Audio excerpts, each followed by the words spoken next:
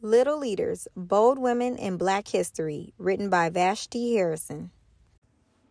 Ruby Bridges, 1954, activist. Ruby made history in 1960 when, at the age of six, she became the first student to attend an all white school in New Orleans. Although some other cities had already begun to desegregate, as was the law since the Supreme Court ruling in 1954 declared that separate but equal was in fact not equal. There were some cities where schools were still divided by color, but after an, an important ruling, the court ordered the schools in New Orleans to be desegregated. And Ruby was selected to be the first black student to attend William Frantz Elementary School. Every step of the way was a challenge long before her first day. Ruby had to take an exam even to gain admissions to the school, one that was written in such a way that black students were less likely to pass.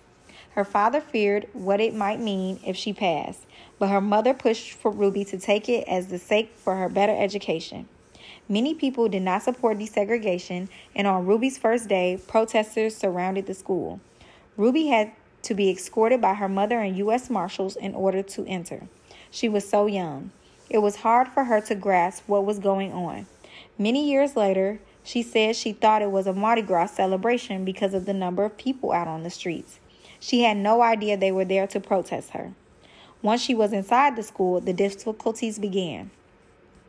Continued. White parents pulled their kids from classes, and many of the teachers refused to teach a black student.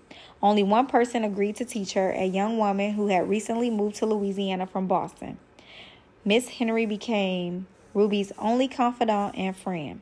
During the the fight for civil rights, Ruby became a symbol for the vulnerability of all Americans faced.